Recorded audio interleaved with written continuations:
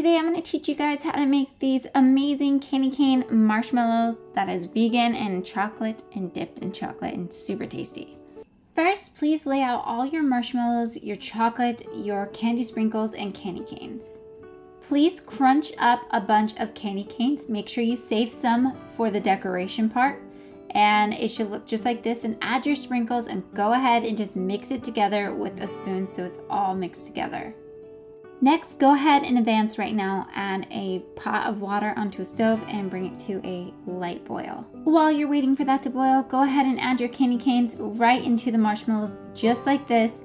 Add each one in, you're not poking it all the way through, you're just poking it halfway through just like that.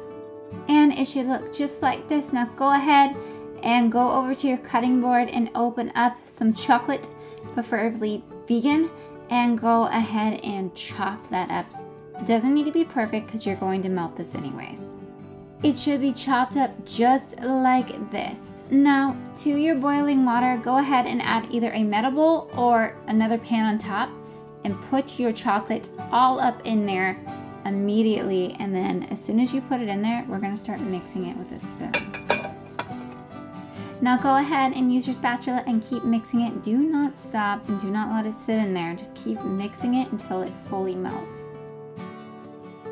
It should be fully melted and shiny just like this. Now take your marshmallows and go ahead and dip them right in there. Do a halfway dip and go ahead and toss it in your candy that has been crushed up, your mix, and place it on a plate. And do not put them too close, you don't want them stuck together and keep doing it to the rest of them.